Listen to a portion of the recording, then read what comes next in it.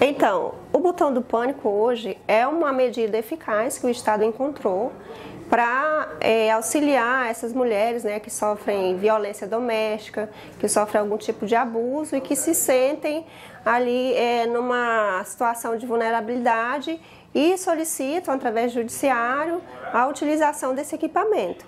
Hoje a gente trabalha com esse tipo de dispositivo. Antes era um botão mesmo, era uma maquininha.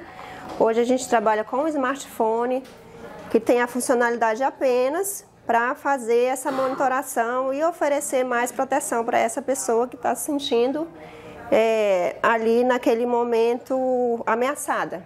Então, aqui o botão ele tem uma funcionalidade bem simples, tá? É bem autoinformativo. Aqui, se ela pressionar esse botão, preciso de ajuda, o sistema vai chegar uma ocorrência.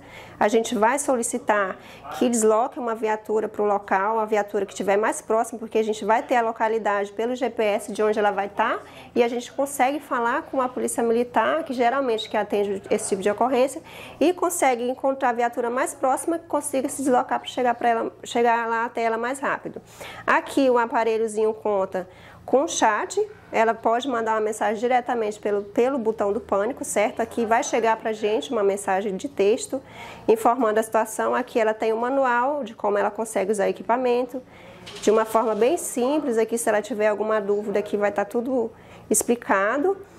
É... Qual é o seu contato Aqui o botão, ele vai aparecer o raio de proteção, certo? Depende muito da medida judiciária. A maioria vem com, uma, com um raio de 200 metros. Então o botão ele vai mostrar aqui um raio. Desses 200 metros, se o, o agressor se aproximar desse local, vai gerar uma ocorrência. A gente vai entrar em contato com a vítima e entrar em contato com o agressor também, certo?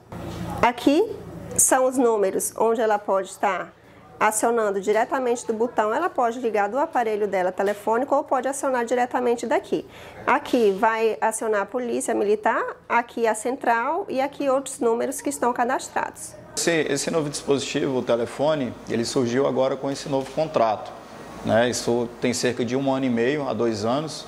E a, o ganho desse aparelho é que, além dele ser um pouco mais discreto né, para a vítima, ele, a gente consegue acionar, é um aparelho que é um celular, então para a vítima fica algo que é, é mais tranquilo para ela estar tá até portando ali no dia a dia, né? que o, a, a, finalidade maior é trabalhar essa questão da prevenção de uma possível ameaça. Esse botão ele é extremamente importante, porque ele, além dele trabalhar esse caráter preventivo, né? ele também, ele, o acionamento dele é muito rápido para os órgãos de segurança pública.